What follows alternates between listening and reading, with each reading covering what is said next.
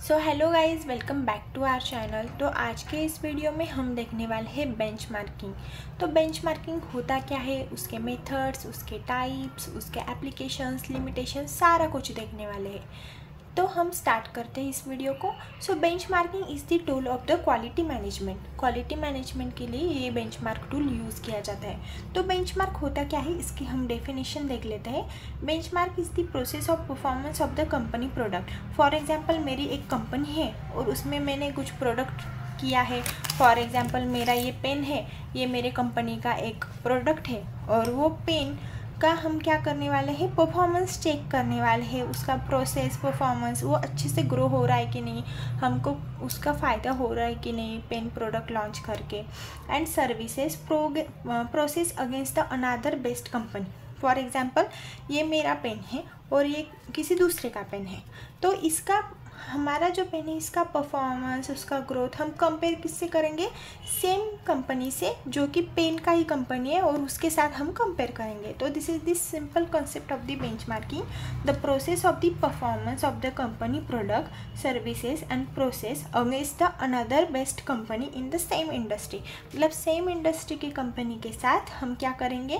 Product का performance check करेंगे। अब नेक्स्ट है benchmarking so benchmarking is a confu confusing task there are so many definitions according to unique technology and philosophy देखो benchmarking product दिन हर दिन कुछ ना कुछ लॉन्च होता रहता है यूनिक टेक्नोलॉजी आती है यूनिक फिलोसफी आती है तो उसकी वजह से बेंचमार्किंग का कन्फ्यूजिंग टास्क है और उसके लिए डेफिनेशन ऐसे प्रॉपर नहीं है बहुत सारी डेफिनेशन है तो एक हम देख लेते हैं। It is a diagnostic instrument benchmark is a diagnostic instrument for the self improvement tool खुद को इम्प्रूव करने के लिए ये एक इंस्ट्रूमेंट है मेजरिंग द वर्क प्रोसेस और वर्क प्रोसेस भी हमारा मेजर करता है। It gives the continuous input of the new information and organization तो हमको क्या रहता है? एक इनपुट रहता है मतलब हम न्यू इन्फॉर्मेशन ऐड करते हैं हमारे ऑर्गेनाइजेशन में न्यू इनोवेटिव आइडियाज़ हम, हमको फॉर एग्ज़ाम्पल चाय बनाना है तो हम क्या करेंगे? पहले तो प्लान करेंगे मतलब न्यू आइडिया इनोवेट करेंगे, कैसे करना है, फिर इसमें बाद में हमारा बिज़नेस ग्रोथ होता है कि नहीं? तो न्यू इन्फॉर्मेशन टू ऑर्गेनाइजेशन हमको इनपुट देना है। इनपुट के बाद हम क्या करते हैं? प्रोसेस करते हैं और बाद में हमको आउटपुट मिलता है, ठीक है? तो ये कंसेप्ट है। So benchmarking is defined as the process for improving the performance if any organization by continuously identify understanding adopting outstanding practices and process inside and outside the organization मतलब बेंचमार्क ऐसा process है जिसमें हमारा performance improve होता है हमारे organisation का और वो परफॉर्मेंस हमको कंटिन्यूसली आइडेंटिफाई करना है उसको अंडरस्टैंड करना है उसको एडॉप्ट कर लेना है outstand practice process inside and outside the organization मतलब ये सारी चीज़ें हमको करनी है क्योंकि हमको हमारा परफॉर्मेंस इम्प्रूव करना है। Benchmarking is the process that allow organization to improve the new ideas देखो, आजकल का ज़माना ही ऐसा है क्योंकि लोगों को क्या चाहिए? न्यू इनोवेटिव आइडिया चाहिए। आपको एक ग्लास चाय चाय होती है, पर चाय आप गुल्लक में दोगे या कप में दोगे या ग्लास में दोगे? डिपेंड करता है कि लोग को कैसा अट्रैक्ट करे कस्टमर को सेटिस्फैक्शन कैसे मिले कस्टमर को उन, हमारा परफॉर्मेंस अच्छा कैसा लगे। इसके लिए हमको क्या करना है, हमारे बिज़नेस के लिए आइडिया हमेशा इम्प्रूव करना है okay so knowledge and experience is the improve the organization to provide the target for improving performance देखो नॉलेज और एक्सपीरियंस बहुत अच्छी चीज़ है, क्योंकि हमारे पास नॉलेज होगा और थोड़ा बहुत एक्सपीरियंस होगा तो हम क्या करते हैं, एक टारगेट रख सकते हैं, हमारा परफॉर्मेंस अच्छा तरीके से होना चाहिए फॉर एग्ज़ाम्पल आपको चाय ही बनाना नहीं आती है, आपके पास चाय बनाने का नॉलेज नहीं है, आपको एक्सपीरियंस नहीं है तो आपकी चाय कैसी भी हो सकती है और वो कस्टमर को अच्छी नहीं लगेगी तो इसके लिए नॉलेज और एक्सपीरियंस बहुत इंपॉर्टेंट है okay okay? Next topic is import sub topic is importance of the benchmarking तो बेंच मार्किंग का इम्पोर्टेंस क्या है? Measure the internal and external standard बहुत इंपॉर्टेंट है। हमारा जो प्रोडक्ट है उसका इंटरनल और एक्सटर्नल स्टैंडर्ड हम मेजर कर सकते हैं। It is a flexible process okay it can be apply almost any part of the business कौन सा भी बिज़नेस हो उसका टारगेट uh, इम्प्रूव करने के लिए परफॉर्मेंस चेक करने के लिए कौन से भी बिज़नेस में हम बेंचमार्क प्रोसेस यूज़ करते हैं। इसलिए वो क्या है? फ्लेक्सिबल प्रोसेस है। Next one is the it helps to understand how you are business stuck up मतलब हमारा बिज़नेस स्टेप बाय स्टेप आगे बढ़ने के लिए ये प्रोसेस बेंचमार्क हमको अंडरस्टैंड कर लेता है और हेल्प करता है कि कैसे बिज़नेस को आगे स्टेप बाय स्टेप ग्रो करें okay we can find out our business strength and weakness as compare to the other for example ये मेरा पेन है और दूसरा पेन है। मेरे पेन का परफॉर्मेंस अच्छा चल रहा है, बहुत अच्छा मार्केट में उसका ब्रांड है, लोग यही पेन ले रहे हैं और दूसरा कंपनी सेम है, उसका भी क्वालिटी वही है, पर वो थोड़ा कम चल रहा है। मतलब हम देख सकते हैं ना ये कंपनी के साथ रिलेटेड करके कि हाँ इससे हमारा परफॉर्मेंस अच्छा है भाई। तो वैसा ही है, हमारा स्ट्रेंथ और वीकनेस हम अदर कंपनी के साथ रिलेट करके वो इजीली फाइंड आउट कर सकते हैं हम। नेक्स्ट है it helps to the clear goals for your business तो कुछ क्लियर गोल्स आते हैं बिज़नेस को इम्प्रूव करने के लिए। Using this benchmark this helps to the prioritize areas that need to improvement for example मैंने ये टैबलेट बनाया है और टैबलेट के लिए मेरा मैन्युफैक्चरिंग एरिया है, फिर असेप्टिक एरिया पैकेजिंग एरिया सारे एरिया पर आपको ये न्यू इम्प्रूवमेंट किसमें करनी होगी? मैन्युफैक्चरिंग एरिया को। आपके मैन्युफैक्चरिंग एरिया में ऑटोमेटिक सेमी ऑटोमेटिक मशीन्स ही नहीं होंगे तो टैबलेट अच्छी क्वालिटी परफॉर्म करेंगी क्या? और अमाउंट ऑफ़ बंडल हमको टैबलेट के मिलेंगे कि नहीं? तो इस वजह से हमको क्या, हम देख सकते हैं ना मैन्युफैक्चर एरिया के लिए हमको इक्विपमेंट की आवश्यकता है। तो हम क्या करेंगे, हमारा इम्प्रूवमेंट बिज़नेस का इम्प्रूवमेंट होने के लिए प्रायोरिटाइज एरिया को हम क्या देंगे, ज़्यादा प्राधान्य देंगे, क्योंकि हम, हमको हमारा बिज़नेस इम्प्रूवमेंट करना है। तो नेक्स्ट है benchmark process benchmark business process तो प्रोसेस में क्या क्या आता है, आप देख लेना कस्टमर सेटिस्फैक्शन फॉर एग्ज़ाम्पल, ये पेन है। उन्होंने लिया और बाद में इतना अच्छा चला वो पेन। और कुछ पानी गिर दिया, पानी गिरा और फिर भी वो इंक इधर उधर नहीं हुआ। तो कस्टमर को क्या मिला? सेटिस्फैक्शन मिला ओके इंफॉर्मेशन सिस्टम मतलब ये पेन के रिलेटेड इंफॉर्म करना चाहिए। इंफॉर्मेशन उनको होना चाहिए, वो इंफॉर्मेशन सिस्टम में आता है। और ट्रेनिंग एंड एम्प्लॉय डेवलपमेंट हमको पेन बनाना है, उसके लिए क्या होगा? बहुत सारे लोगों को एम्प्लॉय करना पड़ेगा, उनको ट्रेनिंग देनी पड़ेगी। पेन कैसे बनाते हैं, क्या करते हैं? मैनेजमेंट करना पड़ेगा। फिर कॉल सेंटर का यूज़ करना पड़ेगा। हमारा जो पेन है, उसके प्रोडक्शन के लिए हमको इम्प्रूवमेंट करना पड़ेगा। इम्प्रूवमेंट होगा प्रोडक्ट बन जाएगा, बाद में स्टाफ बुलाना पड़ेगा, ज़्यादा स्टाफ लगेगा packaging area manufacturing area aseptic area उसके लिए ओके मैन्युफैक्चरिंग असेंबली होंगी human resources and project management तो ये बेसिक छोटे से प्रोसेस है आप इसमें से थोड़े बहुत याद रख लेना और रैंक दे लेना। एक, दो, तीन मतलब कस्टमर सेटिस्फैक्शन को पहला रैंक इंफॉर्मेशन को सेकेंड ट्रेनिंग को थर्ड मैनेजमेंट को फोर कॉल सेंटर को फाइव इम्प्रूवमेंट को सिक्स स्टाफ को seven manufacturing assembly eight human resources nine and project management ten तो ये सारे बेंचमार्क बिज़नेस प्रोसेस है, आप याद रख लेना। तो अब हम देखते हैं बेंचमार्किंग के कुछ गोल्स तो बेंचमार्किंग यहाँ तक आपको इम्पोर्टेंस और इंट्रोडक्शन समझ में आ गया होगा. तो नेक्स्ट है बेंचमार्किंग किसके लिए यूज़ किया जाता है? First one is the performance improvement okay कुछ गोल्स है flow chart type creative thinking creative thinking जब करते हैं तभी हमारा बिज़नेस क्या होता है? इम्प्रूव होता है. हम यूज़ क्या करते हैं? नॉलेज साइंस टेक्नोलॉजी ये सारी चीज़ें हम यूज़ करते हैं। नेक्स्ट है कंपैरेटिव मार्केट मतलब हमारा जो बिज़नेस है, वो हम सेम ऑर्गेनाइजेशन या सेम कंपनी के साथ क्या करते हैं? कंपेयर करते हैं। Meeting customer exceptions management method और मीटिंग क्वालिटी स्टैंडर्ड तो ये कुछ पॉइंट्स है, आप याद रख लेना। अब है नेक्स्ट है बेंचमार्किंग प्रोसेस तो बेंचमार्किंग प्रोसेस में कुछ स्टेप्स आते हैं। First one is the planning analysis integration action and monitoring so आप ऐसे याद रख लेना।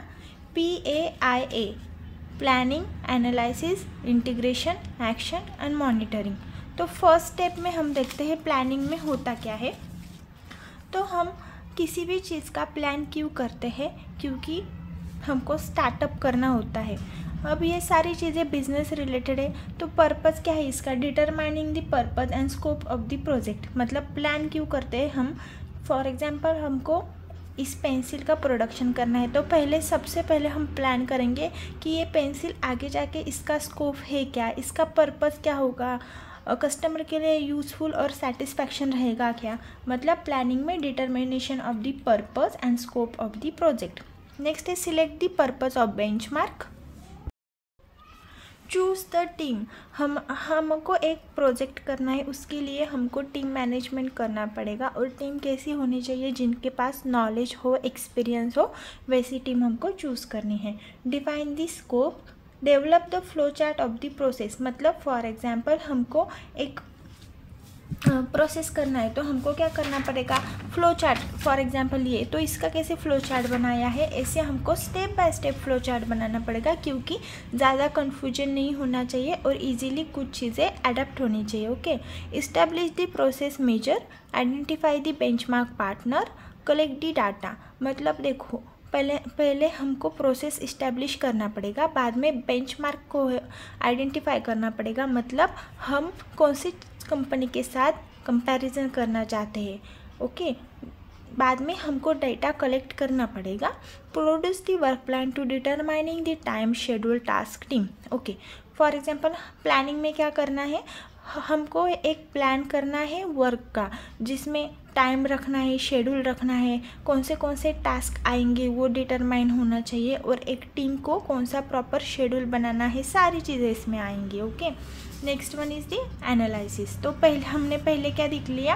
P planning A analysis okay अब ए चल रहा है एनालिसिस तो analysis is the quantitative data of your organization and other organization it is a quantitative data याद रख लेना. For your organization to other organization compare करने के लिए हमको अमाउंट मतलब क्वांटिटेटिव डेटा चाहिए not a qualitative data determining the performance gap analysis मतलब हमको अदर कंपनी के साथ क्या करना है? परफॉर्मेंस चेक करना है और हमारा परफॉर्मेंस उनके परफॉर्मेंस से मैच हो रहा है क्या? क्या कम हो रहा है? क्या इम्प्रूव हो रहा है? वो सारी चीज़ें देखनी है।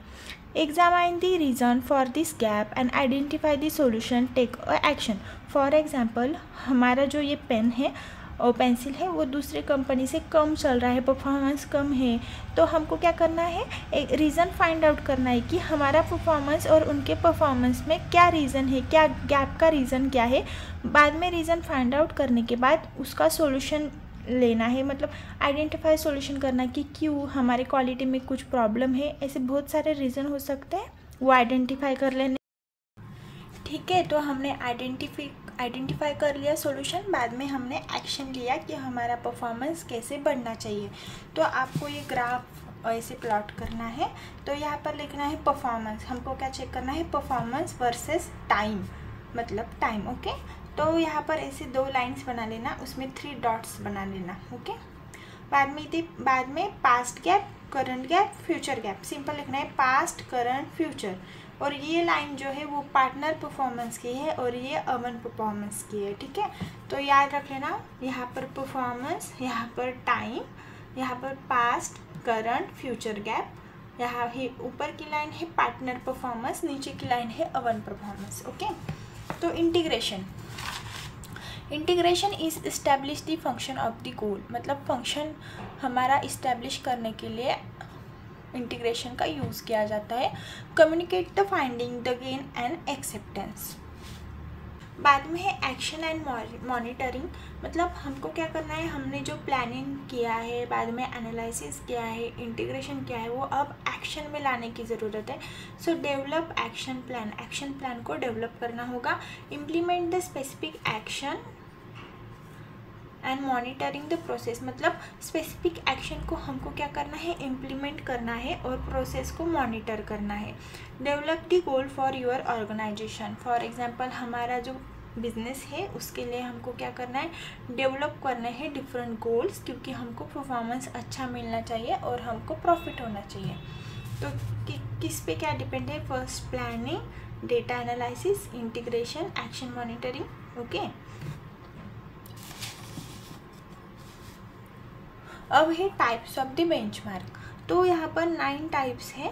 First one is the internal good practices benchmark second is the competitive benchmark third is the functional benchmark four is the generic benchmark strategic benchmark performance benchmark external benchmark process benchmark और international benchmark तो अब याद कैसे रखना है ये सारे types तो इंटरनल बेंचमार्क का अपोजिट है यहाँ पर एक्सटर्नल तो दो हो गए. अब हम क्या करने वाले हैं बेंचमार्क का यूज़ करके? परफॉर्मेंस इंक्रीज करने वाले हैं प्रोसेस इंक्रीज करने वाले हैं. सो परफॉर्मेंस बेंचमार्क और प्रोसेस बेंचमार्क बाद में हम क्या करने वाले हैं? स्ट्रैटर्जी यूज़ करने वाले हैं हमारा परफॉर्मेंस बढ़ाने के लिए. तो स्ट्रैटर्जिक बेंचमार्क बाद में कॉम्पिटेटिव बेंचमार्क कंपटीशन क्रिएट करने वाले हमारा कॉम्पिटेटिव कौन होगा? हमारा same kind of organization so competitive benchmark functional benchmark और जेनेरिक बेंचमार्क तो बाकी आप याद रख लेना। पाँच छः याद रह गए पेपर में तो भी अच्छा है, पर होप आपको सब टाइप्स अच्छे से याद रहे। तो फ़र्स्ट हमने देखा इंटरनल गुड प्रैक्टिसेस बेंचमार्क तो इस बेंचमार्क का एम क्या है? फाइंड द बेस्ट प्रैक्टिस मतलब हमको जो प्रैक्टिस है, वो क्या करना है? अच्छे से अच्छे प्रैक्टिस को फाइंड करना है available to get the job done with minimum efforts मतलब ऐसी प्रैक्टिस करनी है जो कि हमको जॉब लग जाए और मिनिमम एफर्ट्स यूज़ हो। अच्छा? तो नेक्स्ट है advantage access to sensitive data and information is easier मतलब जो सेंसिटिव डाटा है वो ईजी से मिल जाए और इंफॉर्मेशन है वो ईजी से हमको फाइंड अप हो जाए ईजियर सब कलेक्ट हो जाए. Standardise data okay less time and resources are needed is is internal good practice benchmark में लेस टाइम लगता है और रिसोर्सेज की ज़्यादा ज़रूरत होती है।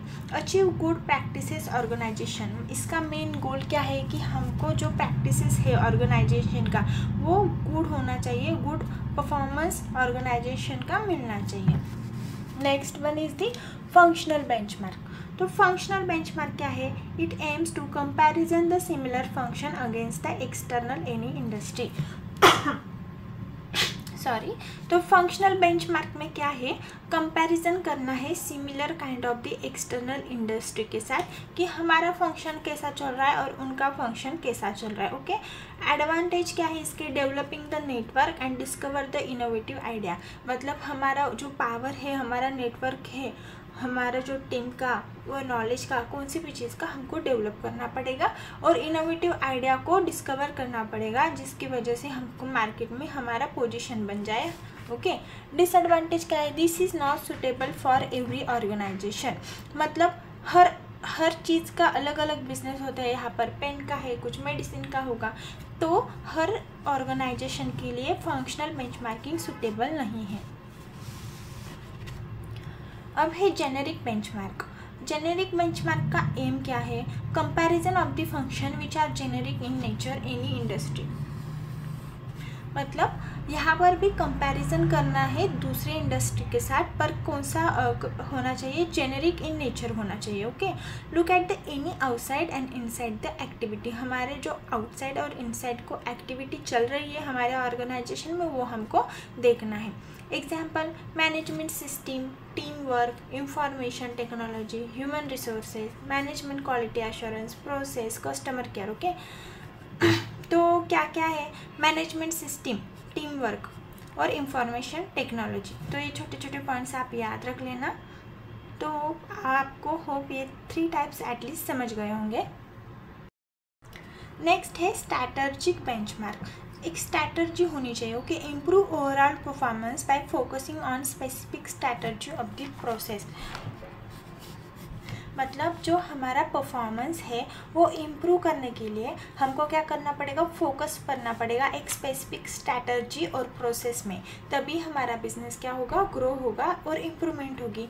Developing the new product and services मतलब एग्ज़ाम्पल न्यू प्रोडक्ट और सर्विसेज़ डेवलप करने के लिए एक स्पेसिफिक स्ट्रैटर्जी होनी चाहिए okay changing the balance of the activity तो ये दो एग्ज़ाम्पल है स्ट्रैटेजिक बेंच के performance benchmarking organisation using performance measure to compare them self against similar organisation मतलब सिंपल है। हमारा जो परफॉर्मेंस है, वो हमको क्या करना है? मेजर करना है, कैसा चल रहा है, क्या नहीं वो। और बाद में क्या करना है? कंपेयर करना है अगेंस्ट सिमिलर ऑर्गेनाइजेशन मतलब ये जो पेन पेंसिल है फॉर एग्जांपल ये कौन सी, अप्सरा की पेंसिल है। तो अप्सरा का पेंसिल का परफॉर्मेंस हमको चेक करना है पहले, क्या चल रहा है मार्केट में ग्रोथ है क्या इम्प्रूव है क्या ओके और ऐसे ही सिमिलर काइंड ऑफ़ दूसरी कंपनी नटराज होगी। तो नटराज का कैसा चल रहा है और बाद में हमारा कंपैरिजन करना है हमारे पेंसिल के साथ उनका।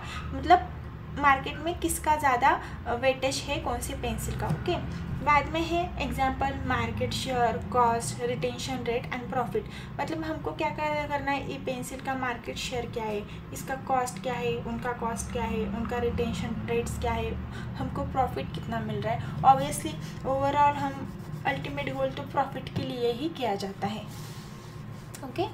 नेक्स्ट है प्रोसेस बेंचमार्किंग तो process benchmarking is focused on critical specific process on operation for example हम यहाँ पर एक टैबलेट बना रहे हैं और टैबलेट बनाते टाइम कोटिंग पैकेजिंग मैन्युफैक्चरिंग ये सारे स्टेप्स आते हैं। तो फॉर एग्जांपल मैन्युफैक्चरिंग करते टाइम एक प्रोसेस है और वो बहुत क्रिटिकल स्टेप है, उस वजह से हमको प्रॉब्लम्स हो रही है। तो हमको क्या करना है? क्रिटिकल स्पेसिफिक प्रोसेस को क्या करना है?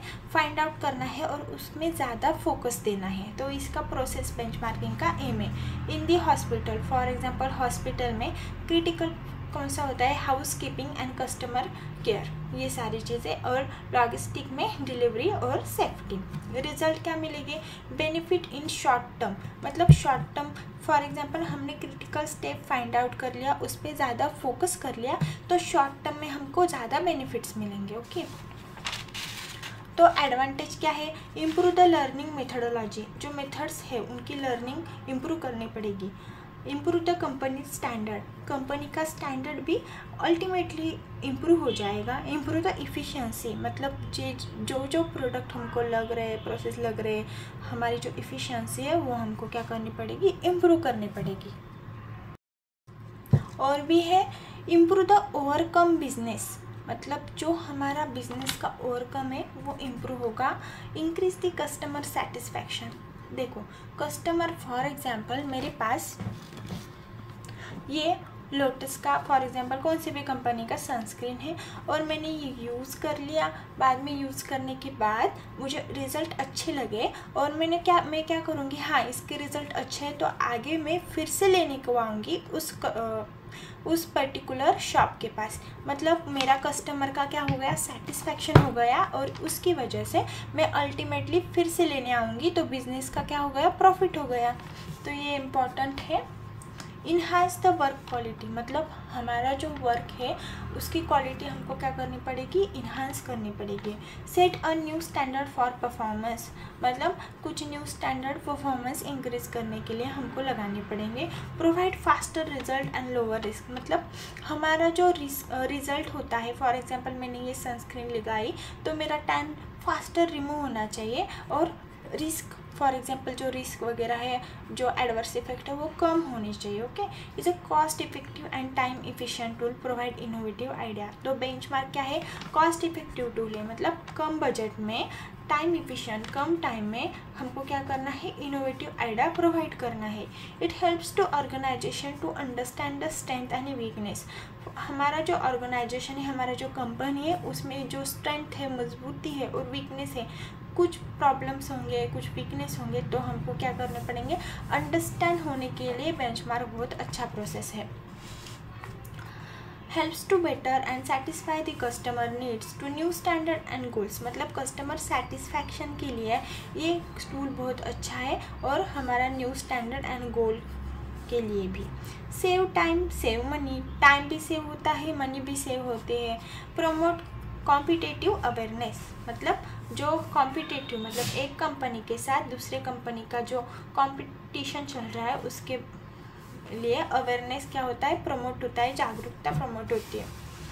आगे है लिमिटेशंस तो कौन से कौन से लिमिटेशंस है? It is a tough process that needs to a lot of commitment and success देखो, ये क्या है? बहुत ही ज़्यादा टफ प्रोसेस है। मतलब आपने देखा प्लानिंग करना है एनालाइज करना है इंटीग्रेशन करना है बाद में एक्शन लेना है। मतलब ये सारी चीज़ें आती है, एक बहुत लंबा प्रोसेस है और टफ प्रोसेस है। It is a continuous process तो कंपटीशन इज़ ऑलवेज चेंज देखो मार्केट में इतने सारे एक ही, एक सेम कंटेंट के बहुत सारे प्रोडक्ट हैं मार्केट में। पर जिसका ब्रांड ज़्यादा चलता है, लोग उसी के प्रोडक्ट लेते हैं और कभी कभी प्रोडक्ट महँगा होता है, फिर भी उनको लेते हैं क्योंकि उनका एक ब्रांड है। तो ये कंटिन्यूस प्रोसेस है और कंपटीशन हमेशा चेंज होते रहते हैं। तो हमको कंपटीशन में पार्टिसिपेट होने के लिए हमारा कंटिन्यूस प्रोसेस और इनोवेटिव आइडिया को क्या करना पड़ेगा? इंक्रीज़ करना पड़ेगा। टाइम कंज्यूमिंग एंड एक्सपेंसिव मैंने बोला कि प्लानिंग इंटीग्रेशन एनालिसिस एक्शन ये पूरा बहुत लंबा प्रोसेस है। टाइम कंज्यूमिंग और एक्सपेंसिव प्रोसेस है। Difficult to get information for example हमको हमारा जो बिज़नेस है वो दूसरे बिजनेसेस के साथ कंपेयर करना है। तो कैसे कंपेयर करेंगे? उनका जो डेटा है वो तो ऐसे नहीं हम जाएँगे, भैया, हमको आपका डेटा दे दो, हमको चेक करना है परफॉर्मेंस तो वो नहीं देंगे। तो difficult to get information information उनकी कलेक्ट करना बहुत ही मुश्किल काम है। Sometimes benchmarking comes from the idea and copying the others मतलब कभी कभी पैलाग्रिज्म होता है।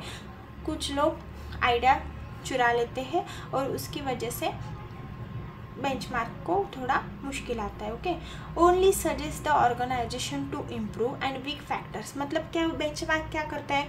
ओनली जो वीक फैक्टर्स है, उनको इम्प्रूव करने के लिए बताता है। पर does not have improving factor and adopt strategy मतलब बताता है कि हाँ भाई, तुम्हारा ये पेंसिल है, ये थोड़ा डार्क नहीं है, चलता नहीं है अच्छे से तो ये ये ये करो आप। ये आपका वीक फैक्टर है। पर ये बताता नहीं है कि हाँ हाँ कौन सी स्ट्रैटर्जी यूज़ करके आपका पेंसिल और अच्छा होगा। मतलब वो क्या करता है? ओनली वीक फैक्टर बताता है और स्ट्रैटर्जी नहीं बताता है okay it it is difficult it is difficult to get information from competitors मतलब अभी बताया कि कॉम्पिटिटर के पास में इंफॉर्मेशन कलेक्ट करना बहुत ज़्यादा मुश्किल होता है और वो खुद के ब्रांड अच्छा चल रहा है तो वो क्यों बताएँगे कि हाँ हमने ये फॉर एग्ज़ाम्पल चाय में, चाय का बिज़नेस है और चाय में ये डाला इस वजह से, चाय हमारा अच्छा चल रहा है, वो क्यों बताएँगे और खुद का नुकसान क्यों करेंगे? ठीक है? तो ये है बेंचमार्क तो हमने क्या क्या देख लिया इंट्रोडक्शन देख लिया इंट्रोडक्शन के बाद कुछ इम्पोर्टेंस भी देख लिया इम्पोर्टेंस के बाद मेथड्स देख लिया मेथड्स में प्लानिंग एनालिसिस इंटीग्रेशन और मॉनिटरिंग सिस्टम बाद में टाइप्स देख लिए टाइप्स में internal external performance process international generic functional ये सारे टाइप्स देख लिए। टाइप्स के बाद उनके इन डिटेल थोड़ा थोड़ा इन्फॉर्मेशन देख लिया और लिमिटेशन देख लिया। तो आपको सपोज़ ये क्वेश्चन 15 मार्क्स से लिए। अभी मुझे दो दिन पहले मेरा एग्ज़ाम हुआ तो मुझे 15 मार्क्स के लिए ये क्वेश्चन आया था। तो 15 मार्क्स में आपको ये सब लिखना है according to your time management okay जो फाइव मार्क्स के लिए आएगा तो फाइव मार्क्स में आपको तीन चार पेजेस ही लिखने हैं और टाइप्स नौ है तो पूरे नौ मत लिखना, चार से पाँच टाइप्स ही लिखना। पर जब पंद्रह मार्क के लिए पूछा जाएगा तो थोड़ा इन डिटेल लिखना और लिमिटेशंस वगैरह सब कुछ लिखना ग्राफ अच्छे से काटना। तो ठीक है थैंक यू सो मच मिलते हैं नेक्स्ट वीडियो में।